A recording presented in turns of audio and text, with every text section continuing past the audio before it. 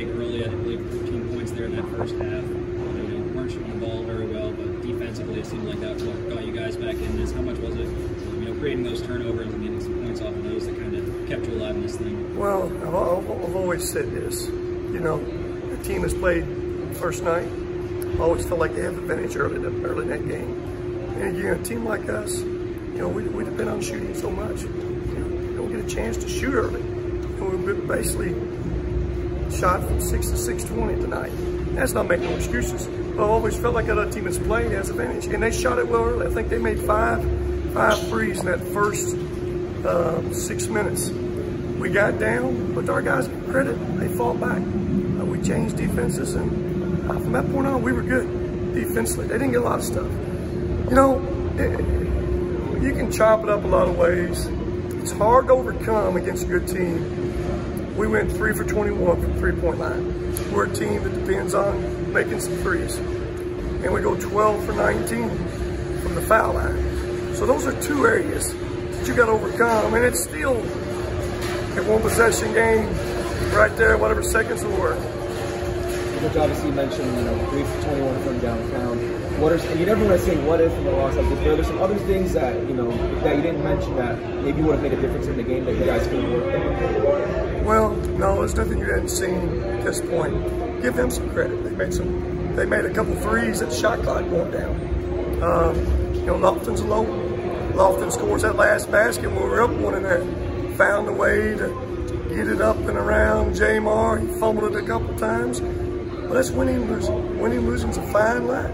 It comes down to one play here, a missed free throw here, uh, when you're playing against good teams. And obviously what goes on in the locker room is personal, but as far as what you guys have been saying to each other, picking each other back up, getting ready for next year, you know, how driven and motivated is this team to get back into the offseason and get working again? Well, Mama, right now we're not think a whole lot about the offseason. Here's what I can say about this team is we've overcome, and you guys have been with us from day one. We've overcome a lot with this team, and I'm proud of them for that. You know, they could have very easily you know, laid down at one point. Uh, it's, it's been documented. We were our bench wasn't very deep, but these guys stayed together. They kept fighting. I felt like coming in this thing, we were as good as we could be physically, mentally, uh, offensively, and defensively. Uh, they believed in each other. We won nine out of ten.